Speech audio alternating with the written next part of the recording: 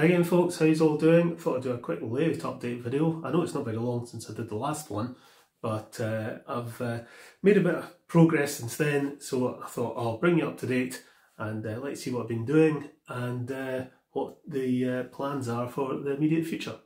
So as you can see, I've got the final sections of track all ballasted, so there's no more white polystyrene showing on the layout, which I'm uh, very pleased about. I've painted the rock outcrops just using the same technique I did before. And I've also repainted the tunnel mouths because, you know, they got covered in plaster and stuff, so they've had to be repainted.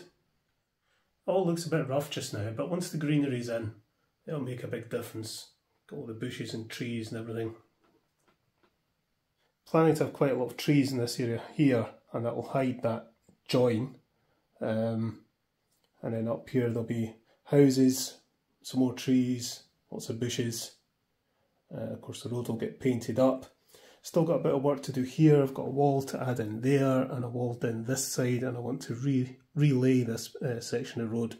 It's quite narrow this road, um, which is kind of deliberate. I wanted to make it look like a little country road, uh, but getting in and out of the station is a bit tight. I'm aware of that because originally I planned to have it come out there, but the bridge was going to be too big.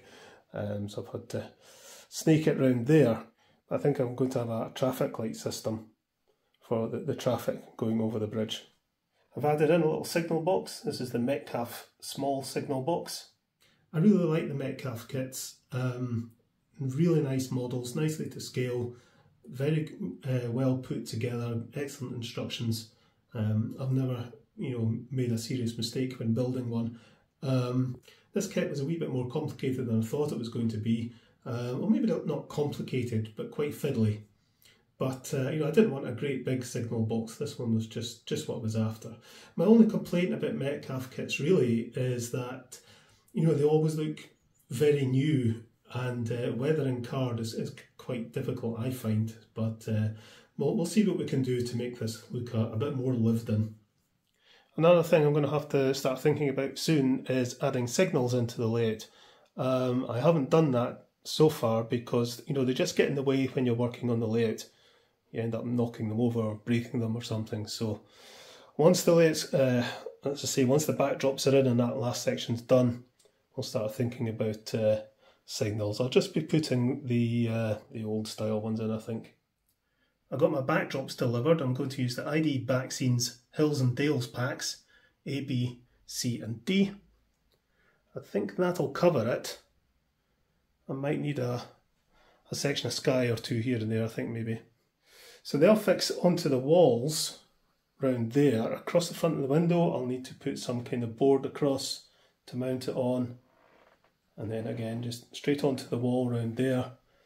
And round here, and the lift out section, I'll need to mount some uh, plywood boards or something to put them on. The tricky bit is going to be uh, this section here with the viaduct because it drops down. This is where I might need some extra sky. But we'll see how we get on. In my last update I talked about this point here which was broken. Um, I've glued it again. It's actually been glued a couple of times in the past. So I've glued it again for now and then I noticed that this point had gone the same way. So I've glued it as well but no, I think both those points are going to have to come out and get replaced. Not looking forward to doing that but needs must. Once this is all greenified, I've got two boxes of these seafoam trees to have a go at installing. Um, they need a bit of prep. Uh, the ones that are a bit bent will need soap to straighten them out and then we'll add some uh, green foliage onto them and stuff. But uh, I think they look, you know, they look like they're going to be uh, really good trees and there's plenty of them. I'll be putting a lot of them in here and some along the back of the viaduct there and up round about the tower house. Just uh, get some more uh, trees up here, I think.